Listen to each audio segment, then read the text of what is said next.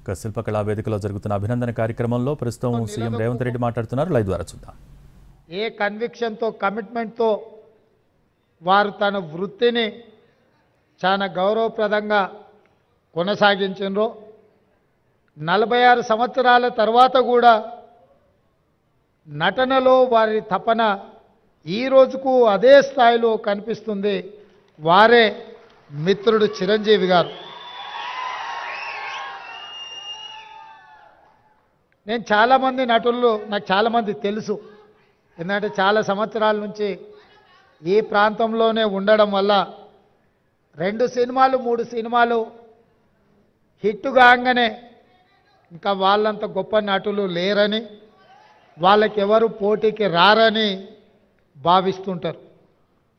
కానీ నూట యాభై పైచిలకు సినిమాలలో గొప్పగా రాణించి జాతీయ స్థాయిలో అంతర్జాతీయ స్థాయిలో గుర్తింపు పొందిన చిరంజీవి గారిలో ఈ రోజుకు ఆ కమిట్మెంట్ ఉంది? ఆ కమిట్మెంటే వారిని ఇంత గొప్పగా రాణించే అవకాశం కల్పించింది. అలాంటి వారిని మా రాష్ట్ర ప్రభుత్వం సన్మానం చేయడం అనేది మా బాధ్యతగా మేము భావిస్తున్నాం. అదేవిధంగా గ్రామీణ ప్రాంతాలలో మారుమూల పల్లెల్లో పెరిగి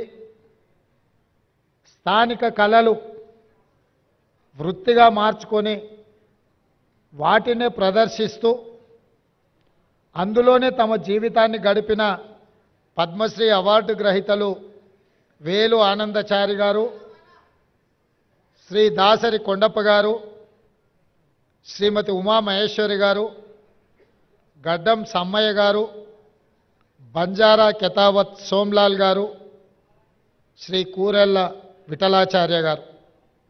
వీరందరికీ కూడా కేంద్ర ప్రభుత్వం పెద్దలు వెంకయ్యనాయుడు గారు చెప్పినట్టు మట్టిలో మాణిక్యాలను గుర్తించి వెలికిదీసి సానబట్టి వాళ్ళు రాణిస్తే ఈరోజు కేంద్ర ప్రభుత్వం వాళ్ళని గుర్తించి పద్మశ్రీ అవార్డులు ఇచ్చింది మన వాళ్ళను. మనలో ఒకరిని కేంద్ర ప్రభుత్వం గుర్తించి పద్మశ్రీ అవార్డులు ఇచ్చినప్పుడు మీ అందరి సమక్షంలో వాళ్ళని సన్మానం చేయడం రాష్ట్ర ప్రభుత్వం బాధ్యతగా భావించి ఈరోజు ఈ కార్యక్రమాన్ని ఏర్పాటు చేయడం జరిగింది. మిత్రులారా ఈ కార్యక్రమం రాజకీయాలకు అతీతమైన కార్యక్రమం. ఈ కార్యక్రమం ఒక మంచి సాంప్రదాయాన్ని నెలకొల్పడానికి మా ప్రభుత్వం చేస్తున్న ప్రయత్నం. తెలుగువాడు ఎక్కడున్నా మనవాడే ఏ ప్రాంతంలో ఉన్నా మనవాడే ఈ దేశంలో. హిందీ భాష తర్వాత అత్యధికంగా మాట్లాడుకునే భాష తెలుగు భాష దేశంలో రెండవ భాష అత్యధికంగా మాట్లాడుకునే భాష తెలుగు భాష. ఇవాళ మన భాష అంతరించిపోతుందేమన్న అనుమానం వస్తున్న సందర్భం. మన కవులు కళాకారులు గ్రామీణ ప్రాంతాలలో సాంప్రదాయబద్ధమైన ఈ వృత్తులను వదిలేస్తే చరిత్రలో కనుమరుగవుతుంది.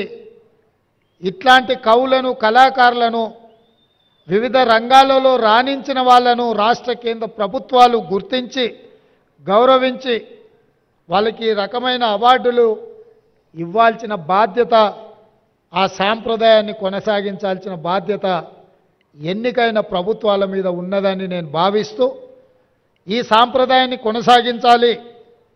అందుకే ఎక్కువ సమయం తీసుకొని వారిని సన్మానం చేసిన దానికి అర్థం ఉండదని ప్రకటించిన ఎంబడే పెద్దలు వెంకయ్య నాయుడు గారిని చిరంజీవి గారితో మాట్లాడి ఈ కార్యక్రమాన్ని ఏర్పాటు చేసిన. వెంకయ్య నాయుడు గారికి ఇతర కార్యక్రమాలు ఉండడం వల్ల ఉదయం పదకొండు గంటలకే ఈ కార్యక్రమాన్ని చేపట్టాలి ఆలోచన చేసి మా అధికారులు చీఫ్ సెక్రటరీ గారితో శాంతకుమారి గారితో ఇతర అధికారులతో మాట్లాడితే సార్ ఉదయం అంటే అభిమానులు రారేమో అది మీరు శిల్పకళా వేదిక అంటుండ్రు అది నిండదేమో కొద్దిమంది వస్తారేమో ఎలా సార్ ఈ కార్యక్రమాన్ని? నన్ను అడిగిన నేను వారికి ఒక మాట చెప్పిన. వెంకయ్య గారి పేరు చిరంజీవి గారి పేరు మనం సన్మాన కార్యక్రమంలో పెడితే శిల్పకళా వేదిక నిండడానికి మనం ఎలాంటి శ్రమ పడాల్సిన పని లేదు ఆందోళన పడాల్సిన పని లేదు. శిల్పకళా వేదిక నిండగా వారి అభిమానులు తప్పకుండా వస్తారు అని నేను వారికి చెప్పిన నా నమ్మకాన్ని నిలబెట్టినందుకు మిమ్మల్ని అందరినీ మనస్ఫూర్తిగా నేను అభిమాని నేను మిమ్మల్ని అందరినీ అభినందిస్తున్నా.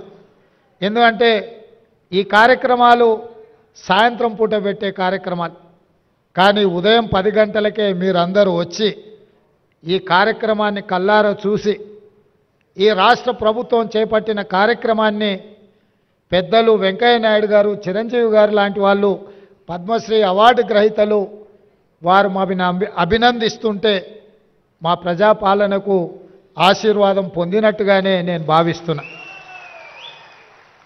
అదేవిధంగా ఒక మంచి సాంప్రదాయానికి పునాదులు వేయాలన్న మా ఆలోచనను మీరందరూ మనస్ఫూర్తిగా బలపరిచినందుకు మిమ్మల్ని అందరిని కూడా నేను అభినందిస్తున్నా. ఈ కార్యక్రమంలో పద్మశ్రీ అవార్డు గ్రహీతలు కవులకు కళాకారులకు జీవితంలో వయసు మీద పడ్డ తర్వాత వెనక్కి మళ్ళీ చూసుకుంటే చప్పట్లు దుప్పట్లే మిగులుతున్నాయి తప్ప ఇంటి ఖర్చులకు కూడా వెళ్ళని అత్యంత దుర్భరమైన పరిస్థితులు గ్రామీణ ప్రాంతాల నుంచి వచ్చిన కౌల కళాకారుల పరిస్థితి. అందుకే ఈ రాష్ట్ర ప్రభుత్వం ఆలోచన చేసి మా మంత్రివర్గ సహచరుల అనుమతితో ప్రతి ఒక్క పద్మశ్రీ అవార్డు గ్రహీతకు పాతిక లక్షల రూపాయల నగదు బహుమతిని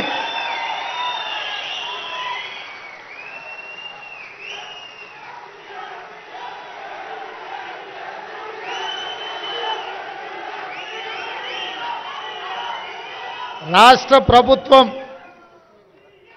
ఈ పద్మశ్రీ అవార్డు గ్రహీతలను చప్పట్లు దుప్పట్లతోనే కాదు నగదు బహుమతి ఇవ్వడం ద్వారా జీవితాంతం ఈ కళలకే వారు అంకితం చేసి మిగతా జీవితాన్ని కూడా ఈ కళలోనే వాళ్ళు రాణించాలని మన ప్రభుత్వం ప్రజాప్రభుత్వం పాతిక రూప పాతిక లక్షల రూపాయలతోటి నగుమతి నగదు బహుమతి వారికి ఇవ్వాలని మా ప్రభుత్వం నిర్ణయం తీసుకున్నది. ఈ వేదిక మీదనే పెద్దలు వెంకయ్య నాయుడు గారు మిత్రులు చిరంజీవి గారి చేతుల మీదుగా వారికి ఆ నగదు బహుమతిని ఇవ్వాల్సిందిగా వారికి విజ్ఞప్తి చేస్తున్నా. అదేవిధంగా ఈ నగదు బహుమతితో పాటు ప్రతి నెల వారి ఖర్చుల కోసం ఎందుకంటే వైద్యము ఆరోగ్యము ఖరీదైంది. ఇంట్లో చిన్న చిన్న ఖర్చులు కూడా ఈరోజు పెరిగిపోయినాయి. అందుకే ప్రతి నెల ఈ కవులకు కళాకారులకు పాతిక వేల రూపాయల పెన్షన్ ఇవ్వాలని కూడా ఈరోజు ఎందుకంటే వాళ్ళు నిరుపేదలు. దాసరి కొండప్పని చూసిండు కదా మా జిల్లా వాడు నా పక్కనే దామరగిద్ద మండలం అత్యంత పేద కుటుంబం నుంచి వచ్చింది వాస్తవంగా మనం ఇట్లాంటి అవార్డులు రివార్డులు ఇవ్వాలన్నా వాళ్ళు అక్కడి నుంచి ఇక్కడికి కారులోనో కావలసిన వాళ్ళని తీసుకొని ఇంత దూరం రావాలంటే కూడా తొవ్వ ఖర్చులు కూడా కష్టంగా ఉండే పరిస్థితులు ఇట్లాంటి పరిస్థితుల్లో వీళ్ళను గౌరవించడం వారికి ప్రతి నెల పాతిక వేల రూపాయల పెన్షన్ ఇవ్వాలన్న ఆలోచన మా పెద్దలు హనుమంతరావు గారి అనుమతితోటి వారికి ప్రతి నెల పాతిక వేల రూపాయలు ప్రభుత్వం నుంచి పెన్షన్ లాగా వారికి ఇవ్వాలి అని చెప్పి మా ప్రభుత్వం నిర్ణయం తీసుకున్నది. మిత్రులారా నేను ఒకే ఒక్క మాట ఈ వేదిక మీద నుంచి చెప్పదలుచుకు. సాంప్రదాయాలను గౌరవించాల్సి వచ్చినప్పుడు మన భాషను మన సంస్కృతిని మన సాంప్రదాయాలను కాపాడుకోవాల్సి వచ్చినప్పుడు అన్నిటినీ పక్కన పెట్టి మనందరం ఏకం కావాల్సిన అవసరం ఉన్నది. మనం అలా కలిసిపోయి కార్యక్రమాలను చేపట్టకపోతే కాలగర్భంలో మన భాష మన సంస్కృతి కలిసిపోయి ఒకప్పుడు తెలుగు భాష ఉండే ఒకప్పుడు ఇలాంటి కవులు కళాకారులు ఉండే అని లైబ్రరీలో చదువుకునే పరిస్థితులు వస్తాయి. అలాంటి పరిస్థితులు రాకుండా ఉండాలి అని అంటే రాజకీయాలకు అతీతంగా సాంప్రదాయాలను కాపాడడానికి మనమందరం కూడా కృషి చేయాల్సిన అవసరం బాధ్యత ఉన్నది అని చెప్పి నేను భావిస్తున్నా. తప్పకుండా పెద్దలు వెంకయ్య నాయుడు గారు చెప్పకనే కొన్ని అంశాలను వారు ప్రస్తావించరు ఎందుకంటే నేను విద్యార్థి దశ నుంచి వారు మాకు బాగా తెలుసు. వారి దృష్టిలో విద్యార్థి దశ నుంచి నేను ఉన్నప్పటి నుంచి కూడా వారి దృష్టిలో నేను ఉన్నాను. అక్కడి నుంచి ఇక్కడి వరకు రాజకీయ పరిణామ ఎదుగుదల వారు చూస్తూనే ఉన్నారు. వారు అందరికీ చెప్పినట్టుగా వేదిక మీద ఉన్న మాకందరికి కూడా చెప్పిండని నేను భావిస్తున్న భాష విషయంలో భావం విషయంలో ప్రజా సమస్యల పరిష్కారం విషయంలో ప్రజలల్లో ఉండి నిత్యం ప్రజా సమస్యల మీద ప్రజల తరఫున కొట్లాడితే గుర్తింపు గౌరవము హోదా అనేది ఆటోమేటిక్ వస్తుందని వారు ఈ వేదిక మీద నుంచి చెప్పినరు.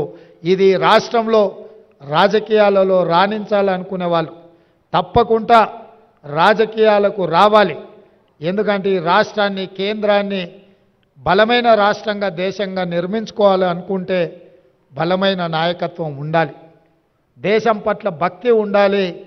రాష్ట్రం అభివృద్ధి పదం నడిపించడంలో మనందరం కలిసికట్టుగా ముందుకు వెళ్ళాలి. అట్లా చేసుకున్నప్పుడే ప్రపంచ దేశాలతో మనం పోటీ పడి దేశాన్ని అభివృద్ధి పదం వైపు నడిపించే అవకాశం ఉంటుంది. తప్పకుండా మీ ఆలోచనలు. ఎందుకంటే పంతొమ్మిది వందల డెబ్బై ఎనిమిదిలో విద్యార్థి దశ నుంచి మీరు మొదటిసారి ఎమ్మెల్యేగా ఎన్నికై కీర్తిశేషులు జైపాల్ రెడ్డి గారు అంతకంటే ముందే మూడు సార్లు ఎమ్మెల్యేగా అయినా మీరిద్దరూ ఆనాటి ఉమ్మడి ఆంధ్రప్రదేశ్లో జంట కౌలలాగా ప్రతిపక్షంలో ఉండి పాలకుల మీద పదునైన భాషతో భాషలో పదును ఉండాలి సమస్యను సృష్టించే విధంగా ఉండాలి. అలాంటి భాషతోని సమస్యని లేవనెత్తి ప్రభుత్వాన్ని ప్రభుత్వం యొక్క ఆలోచన విధానంలో మార్పు తీసుకురావడానికి ఆ రోజు మీరు ఈ కార్యక్రమం మొదలుపెట్టి అక్కడి నుంచి ఉపరాష్ట్రపతి వరకు మీరు ఎదిగినరు. వివిధ దశలలో మీ పోరాటాలు ఈ ప్రాంత ప్రజలు దేశ ప్రజలు చూసినరు. ఒక్క విషయం నేను మిత్రులకు చెప్పదలుచుకున్నా నాకు తెలిసి దేశం నలుమూలల రోడ్డు మీద ప్రయాణం చేసి ఎక్కువ సభలలో పాల్గొన్న నాయకులను ఒకవేళ లెక్కిస్తే వెంకయ్య నాయుడు గారే మొదటి ముందు వరుసలో ఉంటారు మొదట ఉంటారని నేను భావిస్తున్నా. వారు జీవితంలో ఏ ఒక్క రోజు కూడా విశ్రాంతి తీసుకున్నట్టు నాకు తెలియదు దేశం నలుమూలల ప్రజా సమస్యల మీద వారు ఎన్ని వందల కిలోమీటర్లు ఉన్న రోడ్డు ప్రయాణం చేసి తప్పకుండా కార్యక్రమాలను పిలిచిన ప్రతి కార్యక్రమానికి సమయానికి హాజరవ్వాలన్న ఆలోచనతోటి వారు సేవలు అందించినరు. వారు ఈ దేశానికి రాష్ట్రపతి అవుతారని నేను భావించిన భవిష్యత్తులో ఆయన ఉపరాష్ట్రపతి తర్వాత రెండవ తెలుగువాడుగా ఆనాడు నీలం సంజీవరెడ్డి గారు రాష్ట్రపతి అయినరు.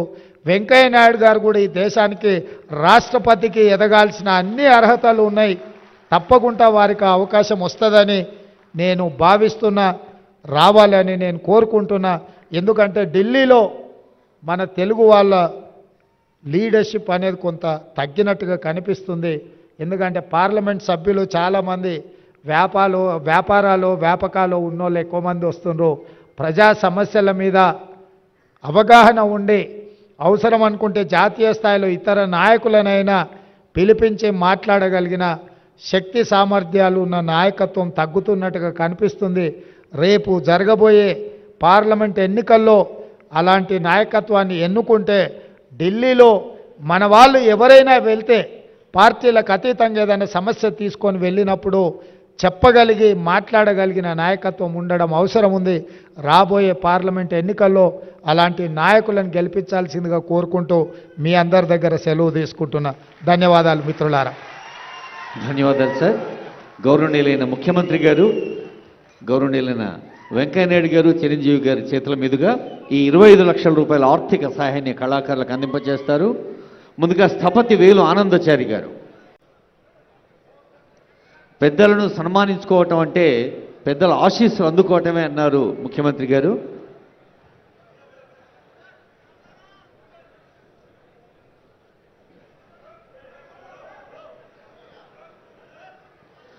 తపతి వేలు ఆనందాచారి గారు కళాకారుల్ని గౌరవించటమే లక్ష్యంగా అందించిన ఇరవై ఐదు లక్షలవి.